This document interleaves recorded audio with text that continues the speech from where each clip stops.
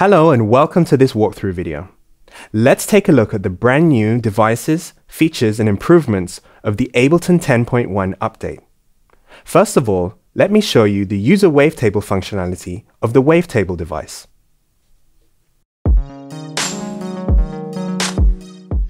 In Live 10.1, you can simply drag and drop any WAV file audio into the oscillator section of the wavetable device.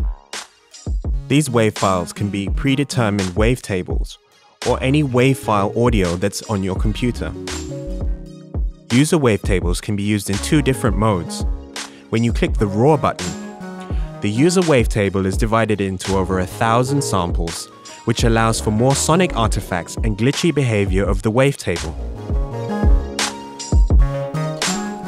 Next, let's take a look at two brand new live devices, Channel EQ and Delay. The first device is Channel EQ, which is a flexible yet simple equalizer. It has sweepable mid-frequency control. The low and high settings adapt their EQ curve when boosting or attenuating the audio signal, and it has an 80 Hz high-pass filter. The second new device is called Delay, which combines the previous device's simple delay and ping pong delay into one easy to use device. There is a filter section that allows you to filter the delayed signal, four different delay modes including ping pong delay, and a modulation section that allows you to modulate the filter position and the delay time. The delay time can be synced to your project tempo, or it can be switched to a time-based mode which allows you to set the delay time in milliseconds. The left and right delay lines can be linked or unlinked, which allows you to set different delay times for each channel. Lastly, there's a freeze button. When activated, this causes the delayed audio signal to endlessly cycle within the delay device's buffer. Live 10.1 has a multitude of new automation features to enhance your workflow and sound design. Let's take a look. You can insert predefined automation shapes simply by selecting them from the context menu. The automation shapes can be skewed, compressed and stretched by simply grabbing one of the handles when selecting the automation. You can also invert automation shapes simply by holding the Alt or Option button and then grabbing one of the automation handles to invert the shape.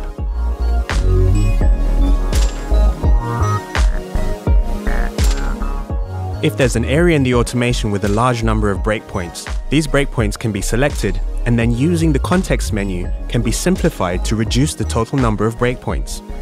In addition to this, when using the pencil tool to manually draw breakpoints, these two are now simplified to reduce the total number of breakpoints created. It is now also possible to add or edit precise breakpoint values within an automation envelope. Simply right-click on a breakpoint and using the context menu, select Edit Value. In the session view, in the detail view of clips, they are now separate automation and modulation buttons that allow you to view these envelopes respectively.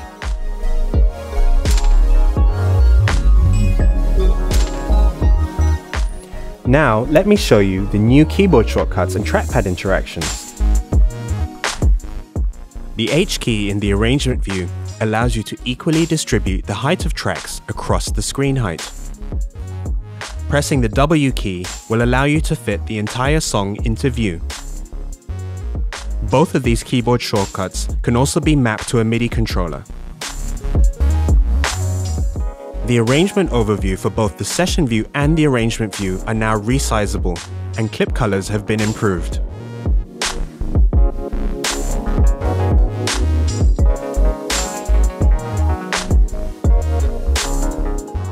Pressing the Z key will zoom any selection made to fit in the available screen space. Pressing the X key allows you to zoom out of your selection. The plus and minus keys also allow you to zoom in and out of your arrangement. If you hold the Alt or Option button, you can also change the track height. By pressing the F key, this temporarily shows you the fade handles and clip fades of audio clips. When the S key is pressed, in the arrangement view or session view, the selected track is soloed. The U key in the arrangement view or session view allows you to fold or unfold selected tracks.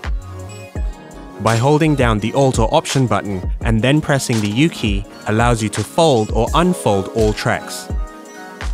Live's new update also introduces trackpad interactions. All zoomable components, including devices, now support pinch to zoom when using a supported trackpad or touchscreen. Finally, let's take a look at freezing tracks, VST plugin compatibility, and exporting audio. With this new update, all tracks that contain a sidechain can now be frozen.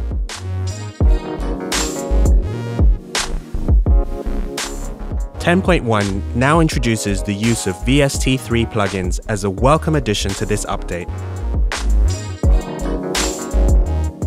Finally, when selecting export audio options, you now have the possibility to export send and master effects when selecting individual tracks for export.